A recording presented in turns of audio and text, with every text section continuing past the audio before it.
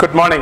I consider myself extremely fortunate. My hobby, my passion, my profession, they're all the same, which is adventure and exploration.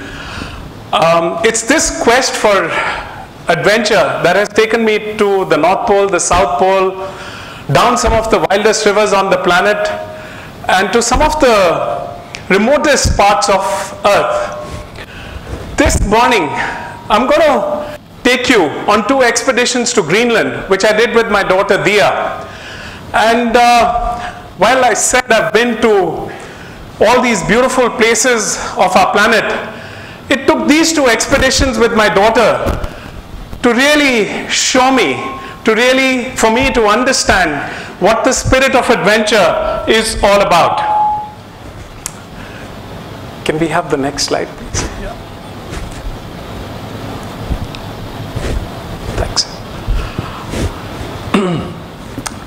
so, Greenland, as you know, is the world's biggest island. Uh, Greenland, they say, was the world's first marketing hoax by the Vikings. It's a misnomer. It should really be, there's 650,000 square miles of ice here in Greenland. Um, the first expedition we did was an 18-day sea kayaking expedition where we kayaked along the fjords of western Greenland. We saw whales, we saw Arctic foxes, we caught fish, um, it was just pristine wilderness and a fantastic feeling to be out there. Um, but you know, as we as we were kayaking, we did see signs and symptoms that showed us that this beautiful planet of ours is a planet in peril. For instance, because of global warming, um, my daughter Deeya and all of us, we had to wear these nets. Um, because of the increase in temperature in the Arctic regions, these mosquitoes are breeding in wild profusion. Not just that, our Inuit uh, boat captain also told us that a lot of the glaciers were receding and the Inuit were, for the past seven winters, had not been able to go out seal hunting um, because the sea ice hadn't frozen. Um, of course, when you're on an expedition or sea kayaking expedition, and in case you topple over, you do something called an Eskimo roll. Right? Toppling over is the easy bit, um, which is a series of coordinated maneuvers upside down underwater to upright the, the, the kayak. Of course, in these frigid waters, when you do an Eskimo roll, like the one I just showed you, your brain goes completely numb and it gets you to do some very crazy things. Um, while we were while we were on this expedition, we took a day hike and uh, we, we saw the Great Greenland Ice Cap, which is the second largest chunk of ice on our planet after Antarctica. And uh, Deeya and I, Deeya was 14 at the time, Deeya and I decided that we were going to ski across the Greenland ice cap. Deeya was Deeya had just turned 17 when we embarked on this expedition. She was the youngest person ever to attempt a Greenland crossing, which is about 550 to 600 kilometers from the west to the east coast of Greenland. We were given the national flag. And it was when we flew from Denmark a place called Kangerlussuaq on the west coast of Greenland. And I looked from the window and I looked at the terrain below that's when I realized that, gosh, I think I'd made a huge mistake by taking this young 17 year old daughter of mine with me. Um, Deeya loves chocolate, so got her a lot of chocolate to make sure that she was a happy camper all along. Um, we skied from the west coast of Greenland, um, just over here, all the way to a small Inuit village called Qeqertok on the east coast of Greenland. In fact, within 36 hours of leaving Delhi, this was early May when I believe the temperature here was something like 42 or 44 degrees Celsius. Within 36 hours, we were on the Greenland ice cap, where the ambient temperature is about minus 20 degrees Celsius. Um, the first couple of days, I was a, that's our team, I was a very worried father. You know, in fact, there was a storm on the second day. that literally picked up Deeya and she fell. And, uh, but she got up and she kept going. And what was amazing was on day two, after the storm, she took the global positioning system, which we were using to navigate, and she actually led the way.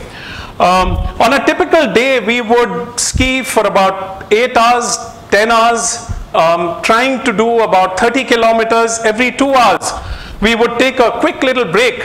Of course, the biggest challenge uh, when you're on an expedition like this is, of course, there is the physical aspect of it, you know, skiing for eight hours plus every day, but it was also managing the extreme cold conditions. Um, that's a blizzard. And during a blizzard, navigation gets extremely hard. The coldest temperature we faced on this expedition was minus 45 degrees Celsius. That's camping on the Arctic ice. And on this expedition, we had two teams of dog sleds with us as well that carried all our stuff. And these wonderful, very happy Inuit uh, people, two of them. Um, while we didn't speak a word of their language and they didn't speak a word of ours, which was either English or Hindi. Um, but I think adventure has its own language, and we just we really warmed up to these wonderful Inuit people. And of course, as team members, we had 28 Huskies with us towing those sleds. These Huskies are very low maintenance. They, they pull that sled weighing um, 400 kilos for the whole day. And all they really live on is a mug full of food. And they, they eat a little bit of the snow. That's Apra, one of the lead dogs. And you know, we were past the Arctic Circle, so we had 24 hours of daylight. But these dogs, they just curl up, cover their nose with their tail, and they sleep out in the elements. Of course, we humans, that's my husky. Um, we, we humans, we need uh, these special polar systems, polar sleeping systems, and a whole lot of tricks to survive in these kind of conditions. We navigated past something which was straight out of a James Bond movie. Um, during the Cold War, the Americans had built these distant early warning systems which were radars. And after the Cold War ended, we were, um, they were abandoned. We were actually able to go inside and have a look. It was quite eerie. Even the radar was, um, was still there. We carried on, and I'd like to share with all of you what our so-called secret formula of success was on this expedition. It's what we call in our outdoor jargon pods where P stands for previous preparation. Confucius said it in the 6th century BC. Um, and that, in, that took months of previous preparation, physical fitness, your gear, logistics, and so on. O was for being super organized all the time, not just thinking about where you were, but always thinking a few days ahead. D was for being deliberate. Deliberate in everything you do because you're in an error-free environment. Um, you know, rescue is something you can never take for granted. You make a mistake and it can have some very, very severe consequences. D was also about being deliberate about what you spoke to each other. And I thought if it made a huge difference if you lived on a very high positive energy plane. You know, you, you had to encourage each other no matter what the conditions. Um, and I think the one thing that always helped was um, a sense of humor in some of these conditions.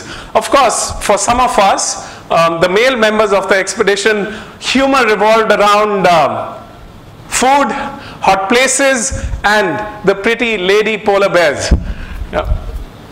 S is for being super safe, super safe. Um, but for us personally, this was a dream come true. And um, S was also for having super fun along the way, not just surviving, but thriving in these kind of conditions. That's one of our team members, uh, Tony. We started calling him uh, Tony the Walrus after this shot. And after 20 days of skiing on the, on the Greenland ice cap, um, We were able to see the ocean in the far distance, but of course we, we knew we have a harrowing descent uh, before us.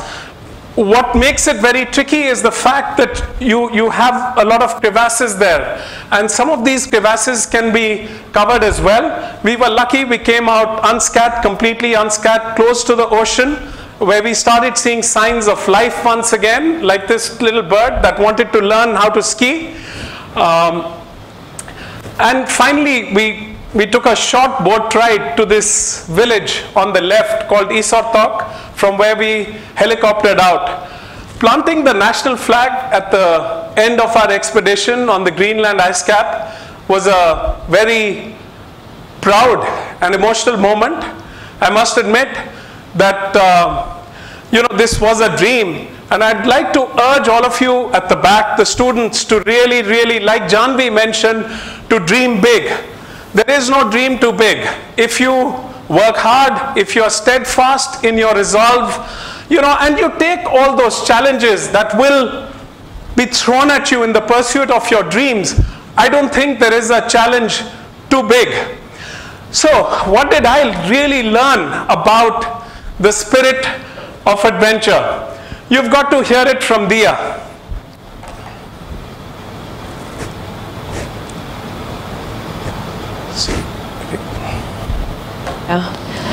Here in India, there is still a huge stigma attached to leprosy. Most people ignorantly believe that it is contagious, and therefore the children of these leprosy patients are treated horribly. Two years ago, I visited a home for such children in Haridwar and was shocked to find that it was only for boys. I urged the management to change their policy, and I set about to raise the money to bring girls to this home. I returned to my community and urged friends and family to pledge money for every kilometer that I would ski on an upcoming expedition to Greenland. The price started at 5 rupees per kilometer, but people got more and more excited. I ended up skiing 500 kilometers across the ice cap, and we raised 1 million rupees. With this money, we were able to build a new building for 12 girls.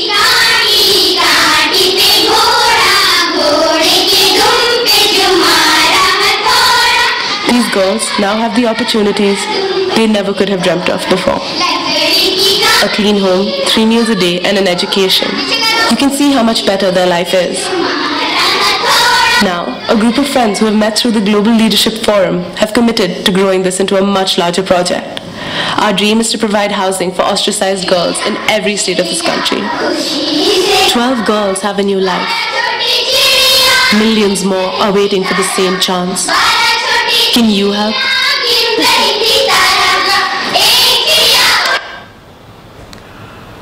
So, what did I learn about the spirit of adventure from Deeya? It's not about conquering nature, but yourself. You can never actually conquer nature. Mother Nature is supreme.